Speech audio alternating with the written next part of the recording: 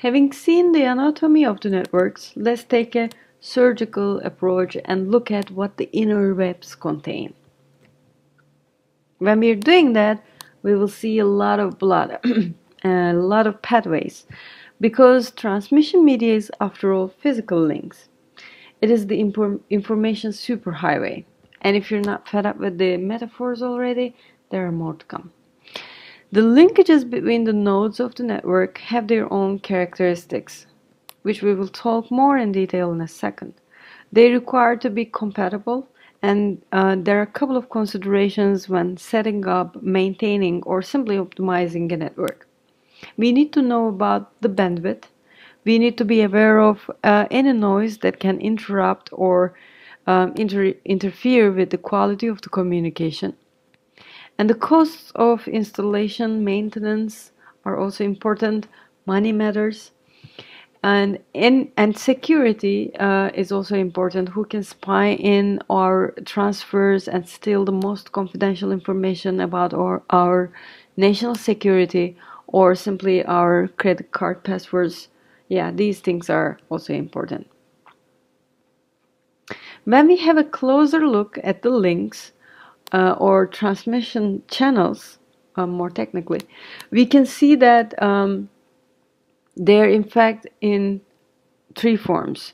They're either wires, regular copper wires, or more fancy optical fi uh, fibers, or they're completely free of wires. There are, uh, of course, uh, pros and cons associated with each of them. With the copper wires, they're so cheap that there's no wonder um, they reign the first century of the te uh, telecommunication infrastructure. However, their bandwidth is rather limited. Wireless technologies, however, are great, but then uh, there's a bit of a security problem there. And uh, optical fibers um, are my favorite. They have enormous um, bandwidth capacity, but just as anything I happen to like, they're expensive and hard to work with. So which one should we go with? Well, it depends on the application requirements, the user needs, and infrastructure lim uh, limitations. You may want to set up a nice network between two towns, and you may have a mediocre budget for it.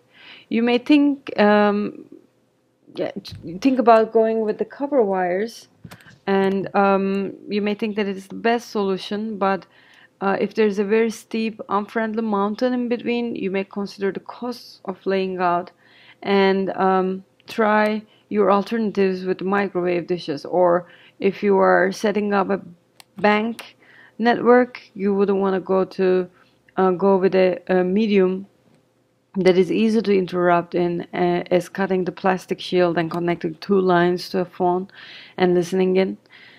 Um, in other case, you may want to set up a satellite link for your local television, but if you're living in a city that has six months of rain and fog, uh, you may want to consider or reconsider terrestrial uh, solutions. So there's an optimal balance between security, mechanical strength, cost, and um, environmental factors or environmental and social uh, dimensions to such decisions. They all count in when need be. The transmission characteristics are also very important. We mentioned some of the factors, but let's go over them again. The capacity of the transmission is determined by three factors bandwidth, the error, uh, error performance, and distance. The distance always has a negative effect uh, on the capacity and overall performance of the transmission system.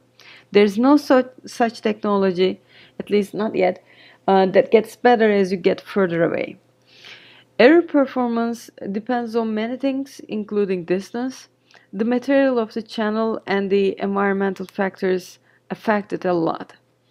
What happens if there's error? Well, uh, the communication is damaged and sometimes completely lost. All sorts of uh, such errors are generally referred to as noise in communication disciplines. Propagation delay is one such noise. It's the time it takes to travel through the transmission system from sender to receiver. There are many things that determine uh, propagation delay, um, starting with the nature of the medium. For example, fiber optic is a fast medium and has less propagation delay when compared to copper wires.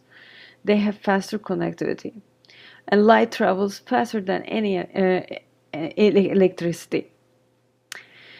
Length of the circuit is another factor. Well, if the signal needs to travel half the distance to the moon and come back to complete the circuit, uh, as in a satellite signal, it is no surprise that there is about a minute uh, of a delay um, every time you try it. It is also important how crowded the network is. If you are sharing the same, uh, same internet connection with thousands of other users at an airport, and then again, propagation delay is inevitable. The last factor is the amount of processing. If you're using 19 layers of encryption just to make your messages less susceptible to your corporate, uh, corporate competitors, then the amount of time it needs to decode at the other hand increases. Therefore, the propagation delay. Now let's get into details of the transmission channels. We will begin with the wired media. Wired solutions ruled and they are still ruling the networks. There, there are a couple of things to be considered when understanding wires. The first is its uh, gauge. In other words, its thickness. The thicker the wire, the better the resistance to interference and better the bandwidth. Also, just because it's a physical medium and needs to be either buried under earth or carried in air, all um, expose them to sunshine and rain and all decays of the uh, environmental factors. The thickness counts for strength uh, here uh, as well.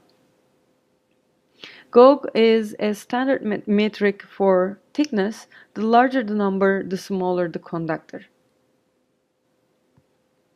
As I said earlier, for decades, um, copper wires were the only channel used by many telecommunication networks. Copper is a good conductor. Actually, there are better conductors in nature, for example, gold. Gold is an excellent conductor, and as a matter of fact, is the reason why high quality sound systems uh, still use gold in their inner circuits. But the reason why copper was preferred over gold was because its cheapness um, considering that you need to lay the structure, basically every parcel of the earth that is being used um, by people or uh, habitated by people, it's very understandable to go with a material that is easy to find and cheap to process.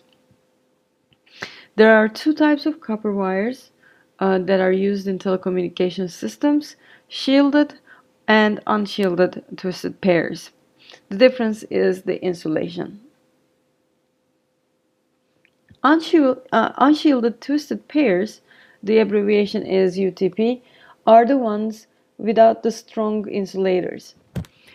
They are very commonplace. For example, if you uh, still have a landline and if it is one of those uh, old types, the part that connects the microphone to the um, typing pad is an unshielded twisted pair. They are usually uh, twisted to reduce the attenuation Attenuation is the distortion of the signals. The twisting turns out uh, to reduce the jumping and mixing of the frequencies and therefore increase error performance. There is no outer uh, conductor. The capacity is limited to 1 megahertz to 200 megahertz. Remember, the audible range of humans uh, is uh, between 20 hertz to 20 kilohertz. So Twisted pairs are more than enough for phone communications. Therefore was the best medium for phone lines, especially within the buildings where there's less environmental threats. They are also okay for ADSL and uh, Ethernet connections, but they are not the fastest in the market. Well, as an overview, um, unshielded twisted pairs are inexpensive, easy to set up, very commonplace but prone to interference and slower when compared to other solutions. Also, they are the easiest to interfere in, so security is not their strongest suit. Shielded twisted pairs. Um, this is uh, simply covered with a this is the twisted pair uh, just simply covered with a silver mesh to make it more durable against interference the result is okay but the cost is increased. Still uh, lower than many other solutions though. Um, so they are used in high noise environments and in high speed local area networks. The shielded uh, twisted pairs are used in most of the IDSN connections. We will talk more about the IDSN and um, DSL uh, communications when we get to uh, phone and internet. But um, for now, it's good to know that shielded twisted pairs are used in ISDNs to provide end-to-end -end digital service over the phone network. Their capacity is between 144 kilobytes per second to 1.5 megabits per second. In the case of DSLs, they serve well up to 2.2 miles of connections to be able to provide 1.5 megabits uh, of bandwidth. In ADSL and VDSL, the number goes up to as much as 13 megabits up to 1 mile of connection.